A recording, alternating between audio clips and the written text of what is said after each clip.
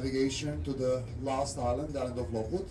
And in a couple of seconds, uh, we will put the food outside on the table. Each plate, vegetarian, meat, fish like that. So you're welcome to go over there, grab, have yourself. Also, so you can have lunch inside, okay? You don't have to go outside. I mean, you just grab a plate, you can have lunch here. And also we have some bread over there. And of course, uh, you have these last vouchers for the free drink during the lunch. Uh, cook, he will, he will help you out. So have a nice, uh, have a nice lunch. And just about after we finish the lunch, we will reach the, the next island. So bon appetit.